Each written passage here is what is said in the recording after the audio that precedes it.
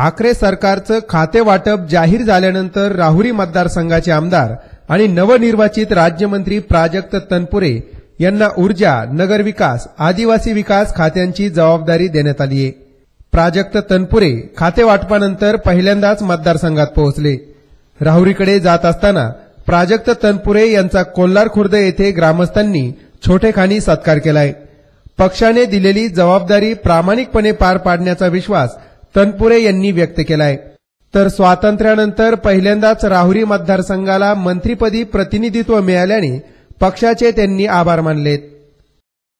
समाजातला शेवटचा घटक हा केंद्रबिंदू मानून सर्वसामान्य माणूस हा केंद्रबिंदू मानून त्याच्यापर्यंत शासनाच्या योजना सगळ्या कशा पोहोचतील?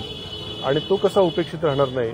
हे माझी काम करण्याची आजही पद्धती आमच्या पक्षाची देखील ती पद्धत आहे की शेवटच्या घटकापर्यंत सर्व जाती धर्माच्या लोकांना न्याय देण्याची आमच्या पक्षाची जी भूमिका आहे त्याच भूमिकेला आधी हे- राहून शेवटच्या घटकापर्यंत शासनाच्या योजनेचा लाभ पोहोचेल अशा प्रकारचं काम करण्याची माझी इच्छा आहे. आपण बघू शकाल राहुरी तालुक्यातल्या लोकांना जो आनंद झालेला माझ्यापेक्षा हे मी मंत्री झाल्याचा आनंद माझ्यापेक्षा या तालुक्यातल्या जनतेला खूप जास्त झालेला आहे.